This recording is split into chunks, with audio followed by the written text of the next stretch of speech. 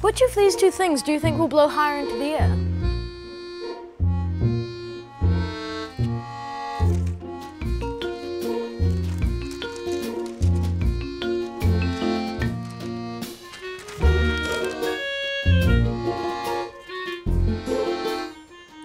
Even though these both have the same mass, the flatter object is pushed more easily by the air because it has a much larger surface area.